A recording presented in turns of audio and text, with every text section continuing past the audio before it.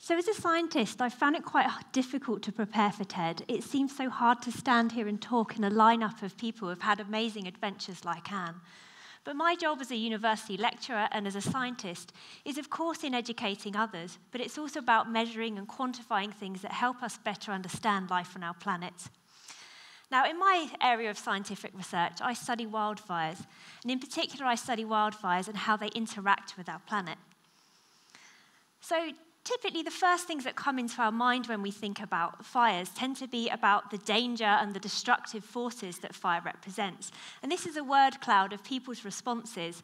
Um, I think I asked 32 people what was the first word that came into their mind, and this was their responses.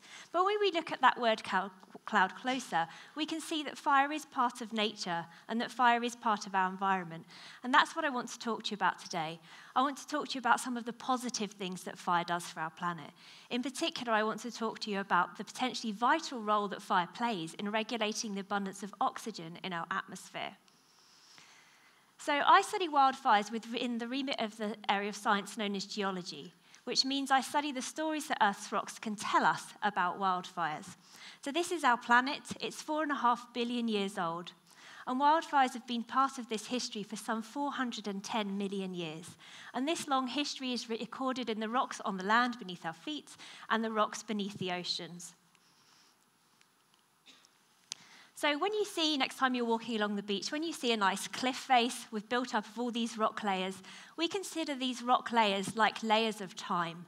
And we can study those layers in time to think about changes in environment that have happened in Earth's past.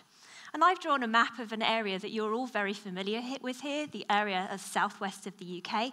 And I've mapped on three different rock types.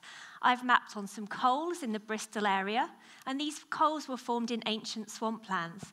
Now, these ancient swamplands then dried out, and they were replaced by great expansive deserts in which red rocks were formed. But later on, these red rocks then flooded by a great ocean that deposited the very famous limestones of the Jurassic coast in the UK. Now, we can track the abundance of those coals and those red rocks across the whole of the land's surface across the last 400 million years of Earth history. So, if we look at this figure, I've got time on the bottom scale from 400 million years ago to the present day, and up the vertical axis, I've got the abundance of rocks. In that wiggly orange line, I've got the abundance of red rocks, and we can see those changing through time. And in the green line beneath it, I've got the abundance of coals. And we know that these two rock types represent almost totally different environments, from swamplands to deserts. So, instantly, just tracking their changes, we can tell that Earth's environment has changed a lot. But in particular, the abundance of these two rock types can tell us about the levels of oxygen in our atmosphere. But how? Well, those red rocks are red because they contain iron. And this iron has reacted with oxygen in our atmosphere to form iron oxide. Now, you're all totally familiar with what iron oxide is it's rust. And what we all know about rust is it has this characteristic orangey red colour. So, next time you look at some cliffs on the southwest coast like that, the reason they're red is that they're full of rust. So, if you think about it, when those rocks were forming millions upon millions of years ago, that iron in those rocks is effectively stealing oxygen out of the atmosphere, and it's kept it locked up in those rocks to this present day. So we can suggest, therefore, that times in Earth history when we form these red rocks, oxygen levels would be lower in our atmosphere. But what about coals? Well, coals are comprised entirely of plant material. They typically form in swamplands or in peatlands. Now, this equation that I've put across the top of my slide here is one of the most powerful life forces on our planet. It's an equation for photosynthesis. Now, during photosynthesis, plants take carbon dioxide out of the atmosphere, they combine it with water and sunlight, and they use it to build carbohydrates, the building blocks of their structure. And as they do this, they release oxygen to the atmosphere. But then what happens is animals like us, we consume those plant materials, and as we do that, we breathe in oxygen from the atmosphere, to create our own energy, and we release carbon dioxide back into the atmosphere. In other words, we've reversed photosynthesis, and this is great because this creates balance, it creates equilibrium on the planet. But if we think about those coals and what they represent, well, they're these huge thicknesses of organic plant material that's been preserved for millions of years, then it's never been consumed. So, if that plant material's never been consumed and animals never breathed in oxygen from the atmosphere, So this represents over very, very long time scales, huge kind of lack of consumption of organic plant material, but a quick leak of oxygen to the atmosphere.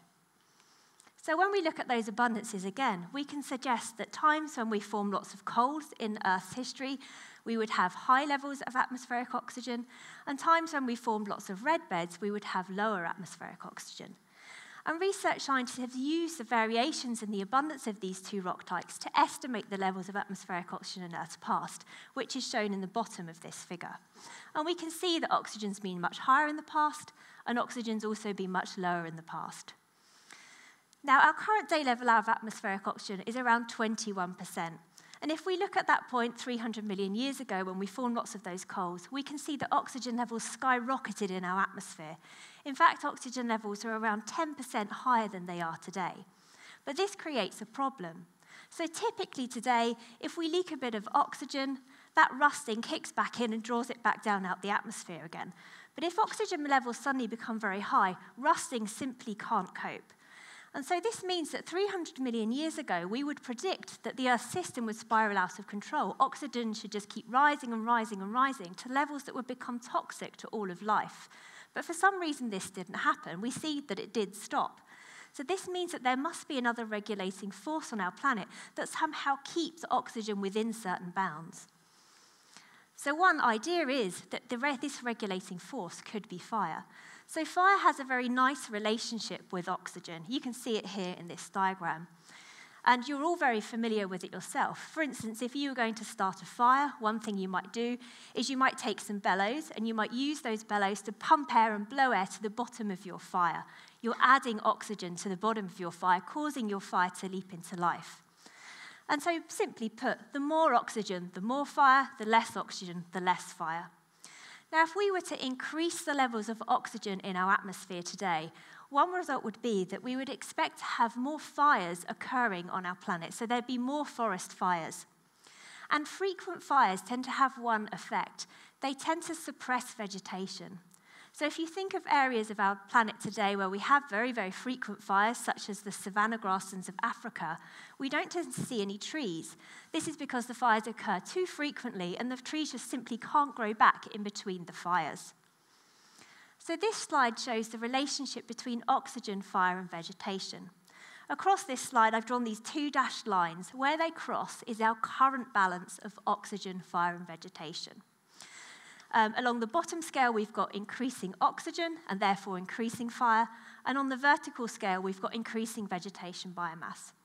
So, if we look at that, if we were to decrease the abundance of oxygen in our atmosphere and therefore decrease fire, we'd actually increase the amount of vegetation on our planet.